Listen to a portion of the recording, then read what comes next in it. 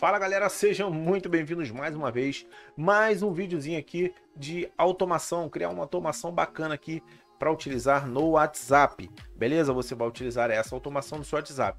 Eu criei como base aqui um bot para serviços de internet, onde nesse sistema vai ter um cadastro, a pessoa vai ter um cadastro, um número interno, ou um CPF, ou eu criei aqui como área do cliente, então você vai ter o número do cliente e a partir do momento que você digitar o seu número do cliente, você vai ter ali todas as suas informações. Fiz aqui para serviço de internet, algo básico, que se você pegar como, como modelo, você vai poder criar o seu também, tá bom? Vamos fazer primeiramente aqui a planilha, tá? Eu estou aqui na planilha, eu vou explicar para vocês na planilha e depois a gente vai pro lá para o aplicativo. Vem comigo. Beleza, aqui ó, estou dentro da planilha do Google. Vou explicar para vocês, é muito tranquilo, muito simples eu vou utilizar três colunas. Na primeira coluna, você vai digitar a frase de recebimento. Por exemplo, eu coloquei aqui: Oi, olá, tudo bem? Boa tarde, boa noite, bom dia. A frase que você quiser, a frase de treinamento, para quando a pessoa chegar, ela digitar, ela vai receber a resposta de acordo com aquela mensagem. Na coluna B, eu vou ter a resposta para essa mensagem recebida, que é, é Olá, sou um atendimento virtual, atendente virtual. Deixa eu botar aqui o. Falta o L segue abaixo o menu, é, digite um número por vez. E coloquei um menu básico aqui, 1, 2, 3, 4. Área do cliente, segunda via, pedido, sair. Beleza. O que, que significa esse, essa coluna C? Aqui é a prioridade. Então, prioridade 2. É quando contém na frase, por exemplo, aqui oi, se contiver na frase oi, ele vai responder essa, ele vai dar essa resposta. E o 1 um é uma prioridade exata. A pessoa tem que digitar exatamente o número 1 um para receber a resposta que era do cliente. Quando a pessoa digita 1, ele vai receber aqui, digite o número do cliente. E quando a pessoa digitar o número do cliente, que é essa aqui, ó, também né, é, nessa linha aqui, 1, 2, 3 seria o número do cliente e também está como critério é, mensagem exata.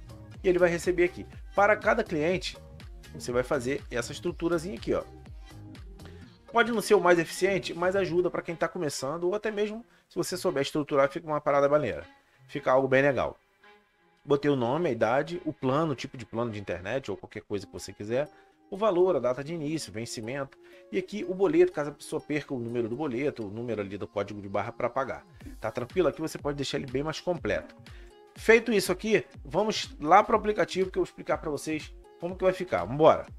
Vamos lá, aplicativo aberto aqui do WhatsApp. Agora o WhatsApp era WhatsApp, não sei por que tiraram o S, mas é isso aí. O aplicativo é o mesmo, beleza? O que, que a gente vai fazer em primeira mão. Aqui em casa, o home, você vai habilitar essa chavezinha e aqui você vai abrir aqui onde eu cliquei texto de resposta automática, você vai marcar aqui, ó, personalizar responder, deixa marcado e lá no check. Aqui é só isso. Vamos para menu, cardápio. Vamos clicar aqui em planilha. O que, que a gente vai fazer? O que, que você precisa fazer? Adicionar planilha. Clicou aqui, ele vai buscar a planilha que eu criei. Se você não, se não aparecer nenhuma planilha aqui, mesmo que você esteja logado aqui, ó, vou voltar para você ver. Tá vendo? Eu tô logado aqui no meu Gmail. Mesmo que você esteja logado e não apareça uma planilhazinha aqui, deixa eu adicionar novamente. É muito simples, é só você criar uma nova planilha, dar o um nome para ela, próximo, próximo e voltar. E ela vai aparecer aqui. Aí você abre lá no Gmail, aí você abre lá no seu Google, planilha, e ela vai estar tá lá bonitinha criada. Como eu já tinha criado, ela tá aqui, ó, botnet. Show de bola. Feito ou ver planilha, vou botar feito. Uma observação super importante para você que for criar esse bot aqui dentro. Toda vez que você fizer uma atualização lá na sua planilha, você precisa vir aqui nos três pontinhos e sincronizar. Senão não funciona. Já tive pessoas é, que fizeram, tentaram fazer e disseram que não estava sincronizando, os dados não estavam sendo puxados. É por isso, você tem que vir aqui e sincronizar. E mesmo que você marque o AutoSync aqui, você vem aqui, quando adicionar algo lá dentro, dentro da, da tua planilha, quando você atualiza ela, ela você vem aqui sincronizar. Agora vamos fazer o teste. E sempre deixar ligado aqui também, ó. Fora em. Se for em inglês, só jogar para o ladinho direito. Vamos vir aqui embaixo no teste. Teste responde.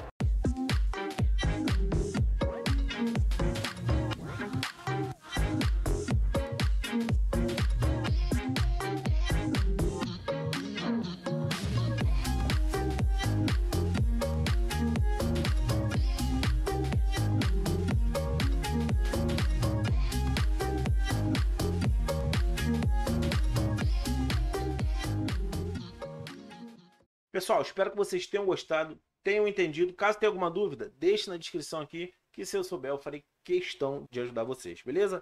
Um grande abraço, deixe seu like, se inscreve no canal e até o próximo vídeo. Um abraço.